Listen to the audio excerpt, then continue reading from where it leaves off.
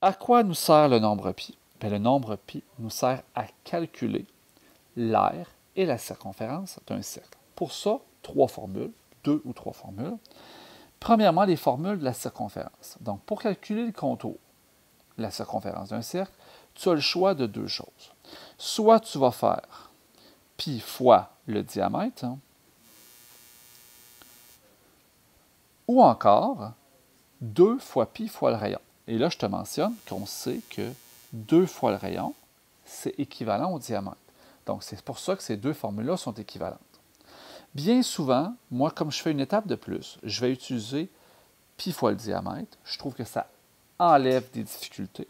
Sauf que tu vas voir que ton enseignant, l'an prochain, en secondaire 3, ils utilisent pratiquement tous 2 fois pi fois le rayon. Donc, je te laisse libre d'utiliser la démarche que tu veux. On va aller voir la formule qui nous sert pour l'air, donc pour la surface. Pour calculer la surface d'un cercle, on va utiliser la formule pi fois le rayon à la 2. Donc, ce n'est pas la même chose. Ici, c'est 2 fois pi fois le rayon. Ici, c'est pi fois le rayon à la 2. C'est le rayon fois lui-même. On aurait pu écrire pi fois rayon fois rayon.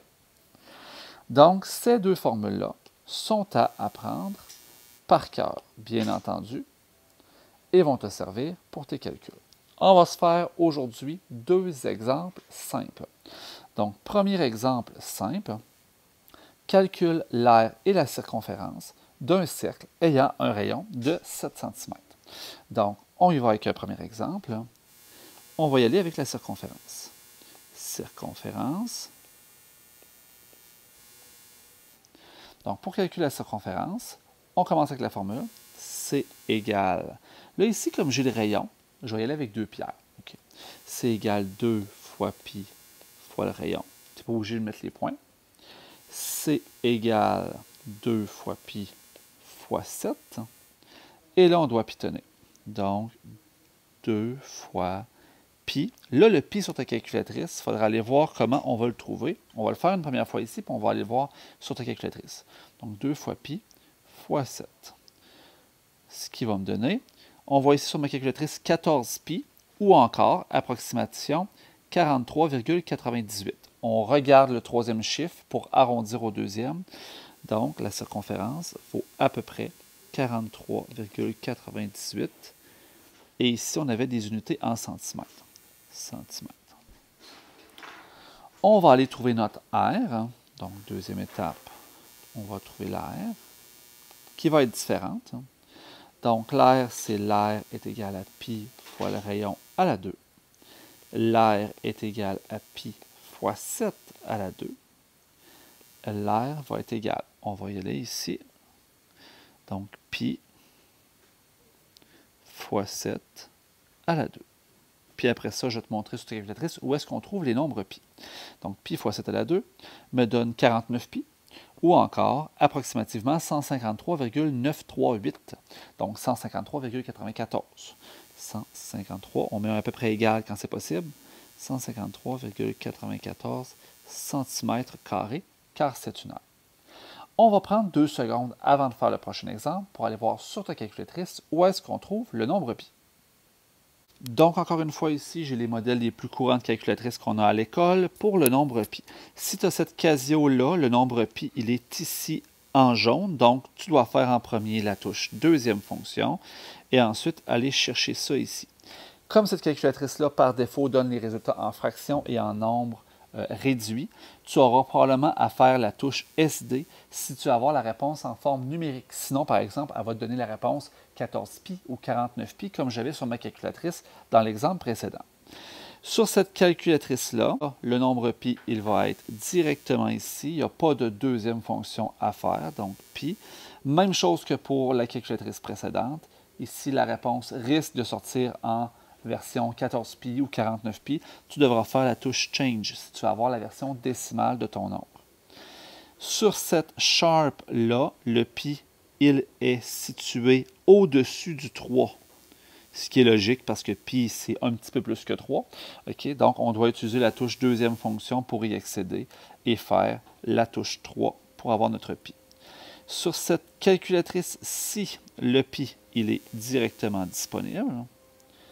Sur celle-là, le pi, il est directement disponible ici. Et c'était notre dernière calculatrice. Donc, exemple 2, calcule l'air et la circonférence d'un disque ayant un diamètre de 35 cm, 35 mm. Donc, on va commencer avec la circonférence. 1, la circonférence. Bon, la circonférence, ici, comme je connais le diamètre, je vais utiliser l'autre formule. C égale pi fois d. Cependant, si tu préfères toujours utiliser, par exemple, deux pierres, bien, on prend le diamètre, on le divise par deux, on se fait une étape de plus. Il n'y a pas de problème. Donc, la circonférence, c'est pi fois diamètre. La circonférence, c'est pi fois le diamètre qui vaut 35. Donc, pi fois 35 me donne 35 pi, me donne 109,96. Donc, pi fois 35, la circonférence, 30, 109,96 cm. Ça, c'est pour ma circonférence. Oh, c'était des millimètres. Si je veux trouver mon air, deuxième étape, mon air du disque, donc ça va me prendre mon rayon. Donc, on va commencer par trouver le rayon. C'est 35 divisé par 2, ce qui fait 17,5 mm. Et ensuite, je calcule l'air. On pas obligé de faire une étape supplémentaire pour ça. Donc, A égale pi fois le rayon à la 2. A égale pi fois 17,5 à la 2. Et l'air est égal à pi. Non, pas pi. Donc, pi fois 17,5 à la 2. Oh, j'ai un, 7 carré. On va recommencer du début. Pi fois 17,5 à la 2. 962,11. 962,11 mm carré. L'exemple 3, calcule l'air de la région colorée en noir dans la figure suivante. Donc, la figure qu'on a ici, c'est un octogone dans lequel il y a un cercle qu'on va appeler inscrit, euh, des mesures en décimètres, des mesures en centimètres. Donc, moi, à défaut, lorsque j'ai deux mesures différentes, j'aime bien travailler dans la plus petite des deux, surtout si on n'a pas spécifié dans quelle mesure on voulait travailler. Donc, on va se noter ici que 3,2 décimètres, c'est 32 centimètres, première des choses. Vous remarquerez aussi que dans la figure, on a euh, l'apothème de l'octogone et le rayon qui sont indiqués. Donc, si mon cercle vient frôler ici le côté de l'octogone, ben, à ce moment-là, le 40 cm sert à la fois de rayon et l'apothème aussi de mon octogone. Donc, on va être prêt à calculer. On va commencer, moi, j'y vais de l'extérieur vers l'intérieur. Donc, on va commencer par l'air de l'octogone. Donc, première étape, l'air de l'octogone.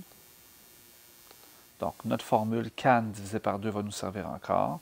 Donc, A égale can sur 2. L'air est égal côté qui vaut 32 fois 40 fois 8 côtés divisé par 2. Et on va aller calculer 32 fois 40 fois 8 côtés divisé par 2. Ce qui va me donner 5120. 5120, ce sont des centimètres carrés. On va être prêt à trouver l'air du disque. Hein, le disque est en blanc. On préfère dire disque que cercle quand on parle d'une aire. Donc, air du disque. La formule A égale pi fois rayon à la 2. A égale pi fois mon rayon, il vaut 40 à la 2. A égale, et on y va avec pi fois 40 exposant 2. Ce qui me donne 1600 pi ou 5026,55. Donc, approximativement à 5026,55 cm. On remarque ici que l'air de mon cercle est un petit peu plus petite que l'air de mon octogone, ce qui est logique dans la situation. Donc, troisième étape, on va trouver l'air en noir en soustrayant 5120 moins 5026,55. 5120 moins 5026,55. 4,55, ce qui va me donner environ 93,45 cm. Allons voir une situation qui ressemble un petit peu, mais dans un carré. Donc, calcule l'aire de la région ombrée, sachant que le carré a une aire de 676 mètres carrés. Donc, ce que j'ai ici, c'est l'aire du carré. Donc, tu vas te rappeler ce que je t'ai dit dans le chapitre précédent. C'est-à-dire que quand je te donne l'aire d'un carré, ben, nécessairement, c'est pour que tu trouves la mesure du côté. Donc, première étape, on va trouver le côté du carré. Donc, la formule A égale C à la 2. 676, qui est mon aire, est égal à côté à la 2. On va faire la racine carrée de 676. Donc, racine carrée de 676, 26. Donc, le côté vaut 26. Ce sont des mètres. On va aller indiquer que mon côté ici mesure 26 mètres sur la figure. Je peux donc déduire que le rayon ici va valoir 13 mètres.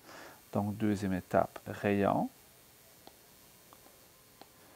26 ben, divisé par 2 me donne 13 mètres. C'est mon rayon. À partir de mon rayon, je peux calculer mon aire. Donc, mon aire de mon cercle. Donc, troisième étape, R du disque. Donc, A égale pi fois rayon à la 2. A égale pi fois 13 à la 2. A égale pi fois 13 à la 2. Pi fois 13 à la 2 me donne 169 pi ou encore 530,93. 530,93 mètres carrés. Et je suis capable de trouver l'air qui est coloré. Donc, quatrième étape, air coloré. Ça va être 676 pour le carré, moins 530,93 676 moins 530,93, 145,07 mètres carrés. Et c'est ce qui va terminer nos exemples pour aujourd'hui.